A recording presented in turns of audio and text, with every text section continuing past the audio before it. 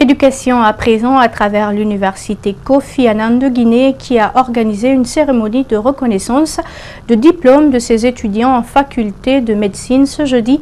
L'objectif est de faire connaître son acceptation au CAMES, Conseil africain et malgache des étudiants supérieurs CAMES. Cette accréditation permet à l'université d'être reconnue sur le plan régional et international. Reportage Bintou Traoré rendu par Abdourahman L'université Kofi Annan a intégré le Conseil africain malgache des études supérieures depuis 2016. Son adhésion à cette institution a beaucoup d'avantages pour cette université. Parce que ça permet à l'étudiant qui sort de cette institution de, de progresser plus facilement parce que son diplôme est reconnu. Pour le président des étudiants, la reconnaissance de son institut universitaire au CAMES est une opportunité à saisir.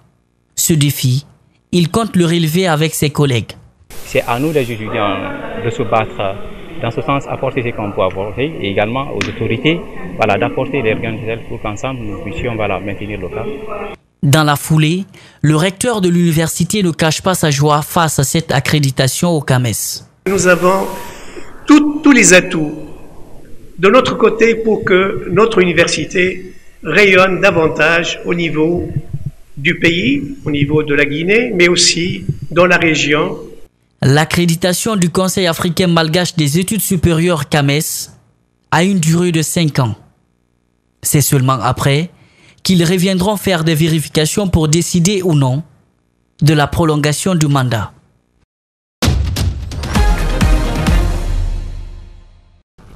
Dans le monde, à Paris, devant la prison de la santé, les surveillants s'inquiètent du retour des djihadistes, s'estimant complètement démunis de Nantes à Nice en passant par Paris. Les surveillants reprennent leur mobilisation et blocage devant de nombreuses prisons deux jours après l'agression de deux collègues par un détenu radicaliste à Alençon, Condé sur Sarthe. En début de matinée, 18 prisons sur 188 en France étaient bloqués à travers le pays, selon l'administration pénitentiaire. Mais ce chiffre est tombé à 10, puis à 2 aucun des collègues n'a pris euh, son service. Euh, je précise que nous sommes euh, sous statut spécial et qu'aujourd'hui on risque des sanctions lourdes.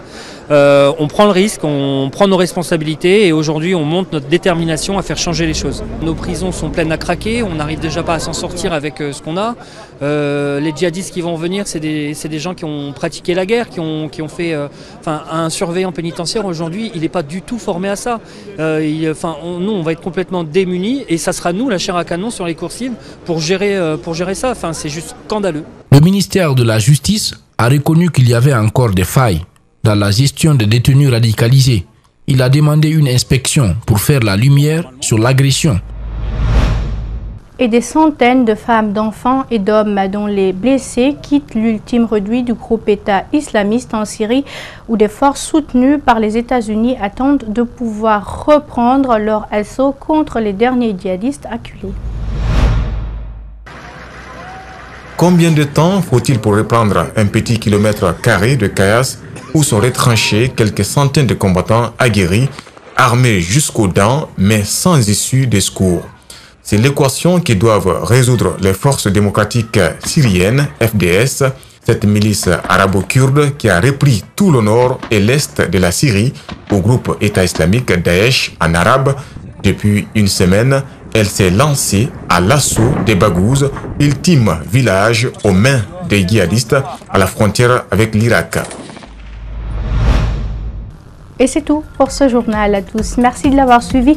Merci également à l'équipe de la rédaction ainsi qu'à celle technique. Restez avec nous, nos programmes continuent sur Espace TV. Au revoir.